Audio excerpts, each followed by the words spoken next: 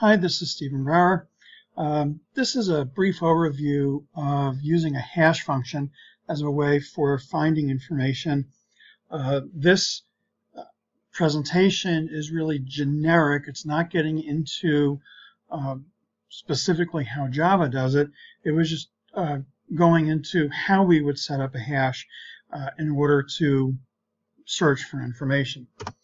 Um, so the premise behind it is suppose we want to physically find some data um, and the, the, data either on a storage medium or the data in memory. Um, and we have a key that is used to uniquely identify the, the, well, the data that we're uh, looking for. What we can do is we can come up with a hash function that, based on that key, is going to return a physical address uh, for finding uh, the, the data. This whole thing depends on how efficient the hash function is. If you have a hash function that just returns one no matter what, it's, it's no good. Um, the example we'll use here is we'll, we'll actually use an array. So um, let's take RVCC for example. Um, the G numbers for RVCC, um, there's eight digits in uh, the G numbers. So it's from G not that anyone has the lowest, but 0, 0, 0, 0, 0, 0, 0, 0 to G 9, 9, 9, 9, 9, 9, 9, 9. That would be the range of, uh, of G numbers, 100 million possibilities in terms of the G numbers. But we only have at Raritan Valley, uh, for the purposes of this, let's just say we have 10,000 students. Well, suppose we want to hold the records for those 10,000 students into memory. Now, yes, in theory, we could just do a search on the array on finding what we have, but it's you know searching through. we use a hash function, we can in a few number of steps find what it is that we're or the specific record we're looking for. So what are you talking about, Brower? Okay, so this here represents all the possible G numbers that um, could exist because the fact that we have eight digits so it's the 100 million possible values from 0 to 99,999,999. Um, now the idea is that we use a hash function on the G number and what it will produce is a subscript. Now I made the comment that if we're only going to have about 10,000 students that we actually could have an array of 10,000 elements and that's quite possible to fit that uh, in, into memory. Um, for the purposes of this example, what we're going to use for the hash function is we're just going to do square root, and the idea behind the floor is meaning we'll chop off uh, the decimals. Um, so um, first let's take a look at storing into the array. So suppose we do have a G number. Suppose we have uh, the G number 555123. Uh, we've passed that into the hash function, which again is going to be the square root. The value would come up with 745. So then we would store this 555123 at location 745. Suppose we have another G number, the 789123455, pass that into the hash function, which is the square root, come up with 883, sorry, 8883, and so that's where the 789123455 uh, would be stored. So now on finding, so suppose we're searching for 789123455, we would perform the hash on it, which is the square root, come up with 883, and then we take a look to see, well, do we actually have the data there? We do, and so we found uh, what we're looking for.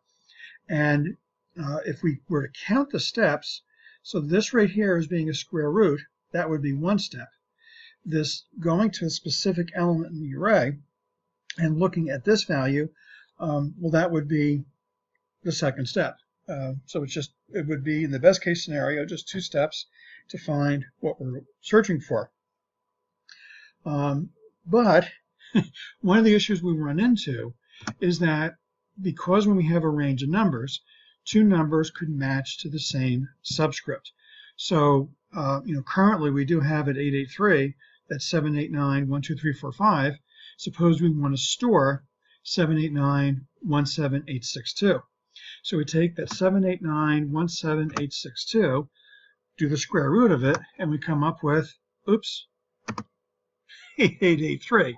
Um, so we can't store it because there already is a value there.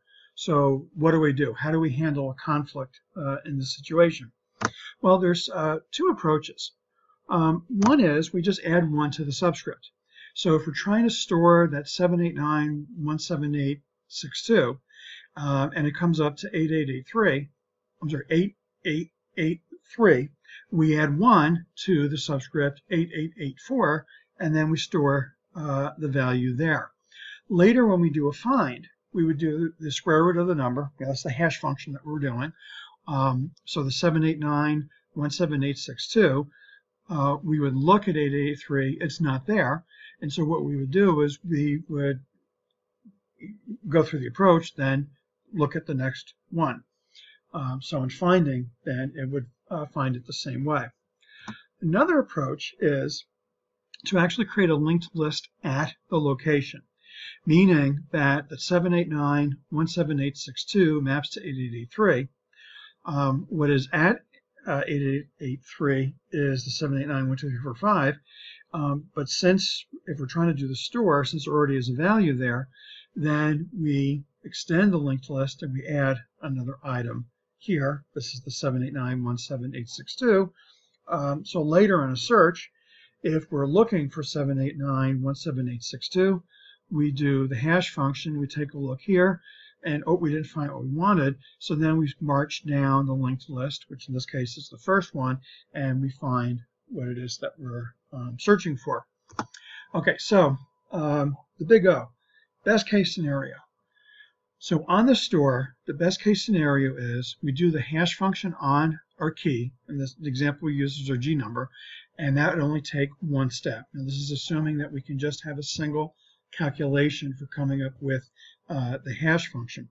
Then what we do is we take a look at the array at the element whose subscript that is that the hash function produced, and we see is um, the value or is is the value free, meaning there's nothing there.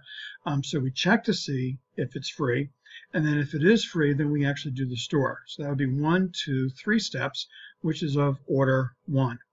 On the find, same thing. We take our G number, we do the hash function on uh, uh, the G number. Um, so the, the hash number, the performing the hash itself is one step. We look at that subscript and we see, is it there? Um, and we find it there, so we found it, so that's two steps. So the best case scenario, when we haven't hit a conflict, um, it is order one for finding and for storing in terms of the array. When we do have a conflict though, so in the worst case scenario, we do a, worst case in the store, we do the hash function on the key, that's a step. We look at the subscript to see if it's free, and oh, it's not. Um, that was a step. Okay, so now we have to do with the conflict.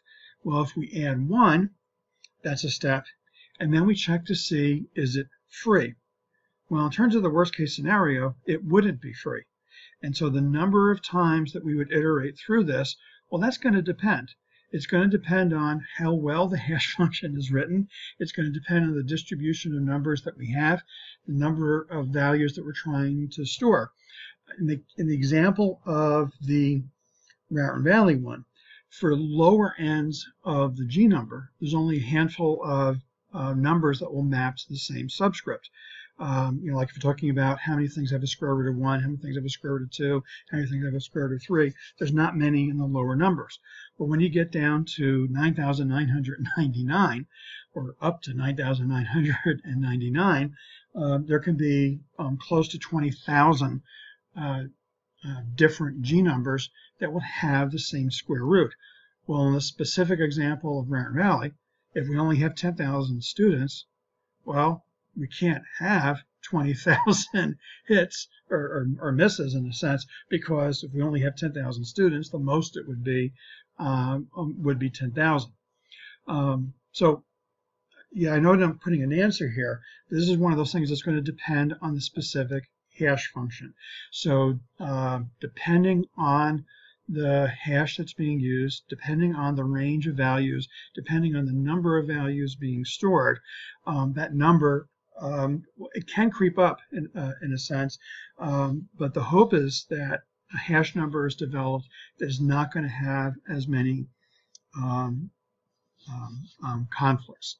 Um, so yes, I know I did. I didn't answer it here. I, I, I guess one, one thing I'm trying to say is, if you come up with a bad hash, so suppose our hash function is just returning one, period. No matter what the g number is, we return one. Then we would actually have every single element trying to go to element one. And if we use the linked list approach, then we'd have a linked list of all the possible um, students, which means it's going to go down 10,000 uh, in the case of the students, we have 10,000 students uh, in order to find it. Now that's, hopefully we're not going to come up with a hash function that everything maps to one element for all the data that we have, but I'm really just trying to illustrate that although in the best case scenario we can get great performance, if we botch the hash function, it's no better than doing uh, a sequential um, um, search. So depending on the function that we have, depending on the range values that we have, um, hopefully that we're getting something that's closer to the order 1 and not as much in terms of uh, the order n.